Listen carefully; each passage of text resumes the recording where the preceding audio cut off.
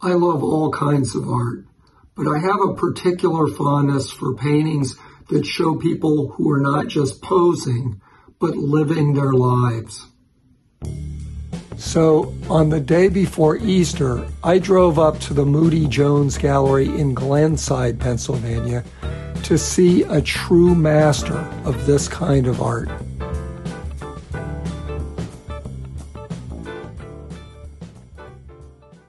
Name is Adrian Moody. We're at the Moody Jones Gallery, and we're featuring Ron Washington's work, R.L. Washington, who I've known over a number of years. And as you can see, his work is wonderful.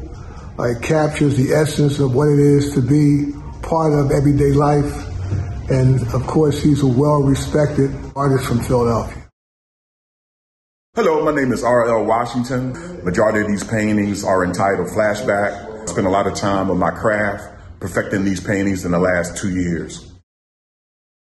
I asked Ron how representing human experience became the focus for his work. Well, I started off being a uh, illustrator major in Fulford College of Art years ago, and the hub of our work was based on humanism, which entailed painting the human figure in certain environments to give a certain narrative. And since that time, I stayed with that genre. I asked him about his wide variety of characters and where he finds these folks. I try to include everybody in my paintings and not just limit myself to just doing people of my own color.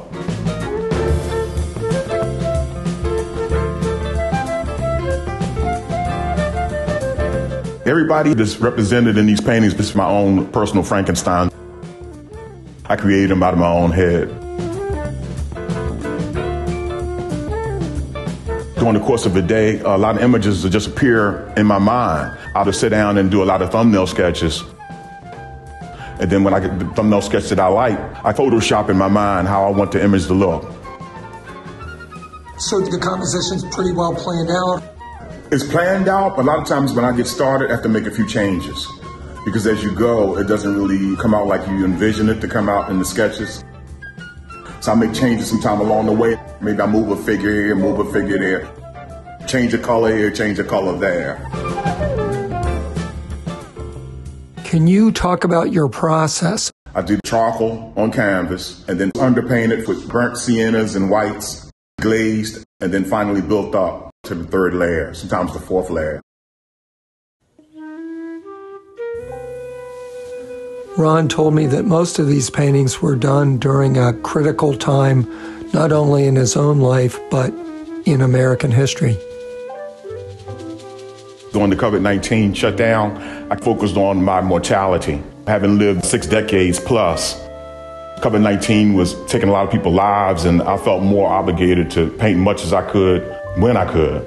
And these are archive of how I was thinking during that time.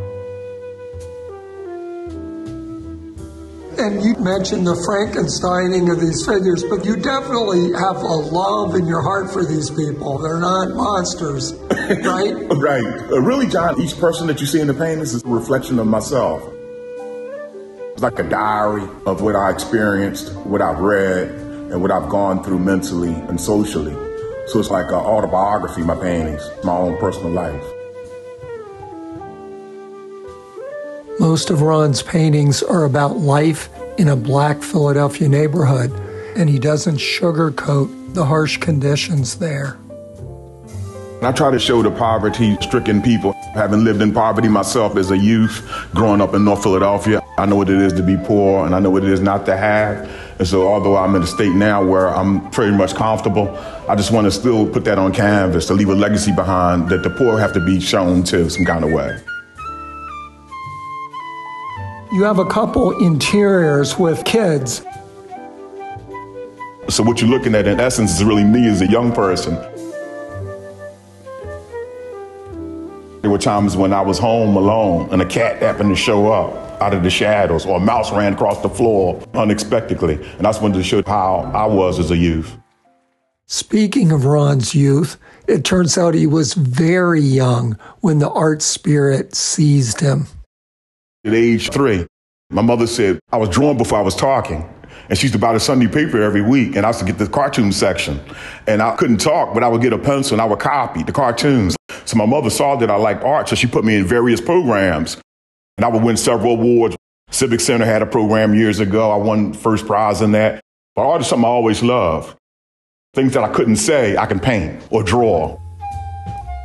Being a child that didn't have a father, I kind of felt alienated. A lot of the children that I grew up with had both parents home, and I just had the mother home who raised four kids by herself. And so that left a stigma in me. I wanted to get it out in the picture form.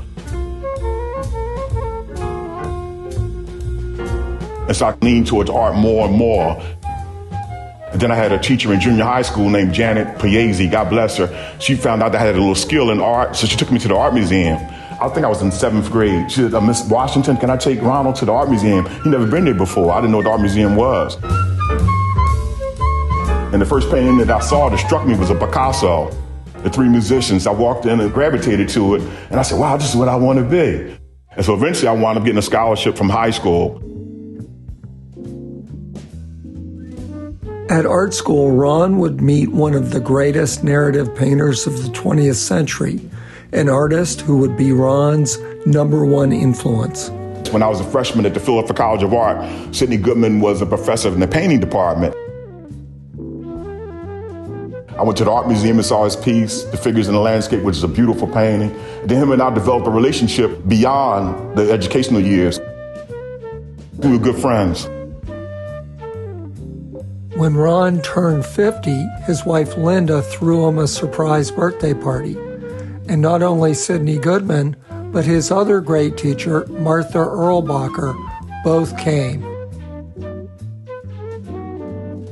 February this year, I was invited by Sidney Goodman's widow, Pam, to come speak to the children at Friends Select School. I had 15 paintings on display, and I talked to all the students. They asked me a lot of questions, and I try to encourage them which way they should go if they have a talent or desire to be an artist. So it's not going to be easy. But it's something you have to really want to do. You have to make sacrifices, work hard, and listen to your instructors, your teachers, and then you select. And you pick what's good for you as you get older and mature in the craft, and the things that you don't need, you put it aside. When did you realize that this was something that was possible for you to put your all into? I would say at age 21, I really felt like this is something that I really wanted to go ahead and over heels for, come on all fours. And ever since that time, I was more determined than ever. Ron has worked with incredible dedication for over four decades on his art, but like most artists, he's had to work other jobs to get by. I worked at the bank for eight years. I did freelance illustration for about five years. And then I wound up with the federal government for 27 years. Then I wound up retiring, teaching on the side also. Although most of Ron's paintings are set in impoverished North Philadelphia, he now lives in the middle class Mount Airy neighborhood. There is crime here, but it's not as prevalent as it was in North Philadelphia. Have things changed a lot in North Philadelphia since you were a kid? Indeed, so. It's a lot worse now than it was when I grew up in the 50s. I go by sometime and I reminisce on how things used to be, and things have gotten worse now because of the economy and the lack of education, crime and murder. And of course, you know, in Philadelphia, it's really gotten bad. Tell me about this painting and the psychological ramifications that you put into it. Bid for freedom. When a young fellow is walking into the doorway, he's getting away from the crowds of people that's in front of him. I feel like a lot of times people don't show you who they really are. They look away from you. And this is why a lot of my figures really don't look directly at the viewer. If you notice the majority of their paintings, they're looking down, they're looking away, and you can't really tell their true identity.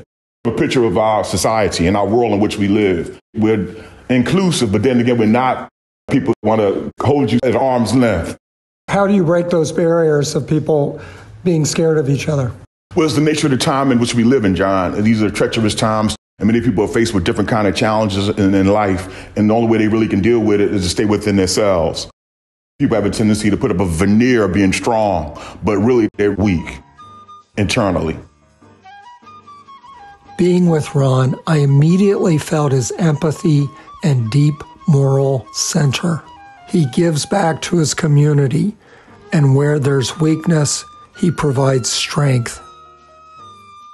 I'm associate minister at the Rose of Sharon Apostolic Church in North Philadelphia. 1214 West Lehigh. So I do go back and we have programs in the church where we serve the community. We give them clothes, we feed them, uh, we give them open opportunities to bring their children to church. We teach them whatever they need. We kind of supply that need.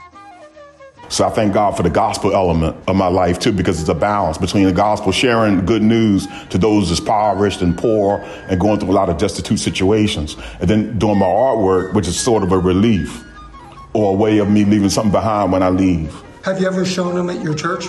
No, because when you're talking about spiritual and natural, you're going into two different worlds. And we pretty much stay to the spiritual world in our church. But music's allowed. Oh, music is allowed. You're right. You got me there. Yeah, well, and art is just a kind of visual music.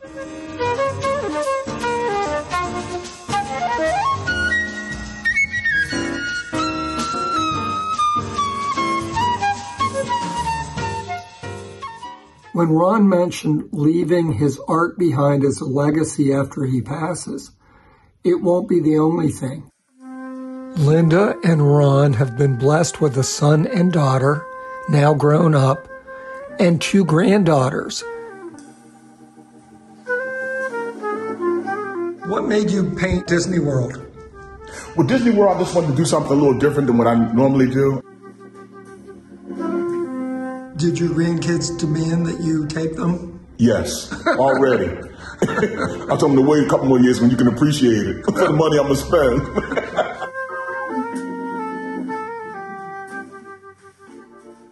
Do you feel like you're part of a larger Philadelphia art community? And if so, what's it been like?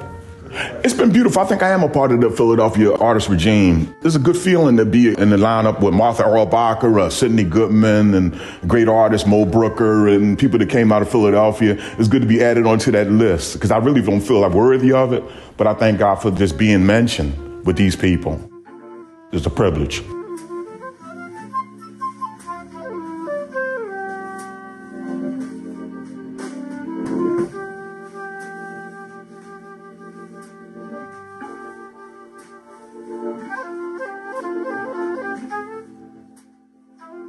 Is there hope for this world?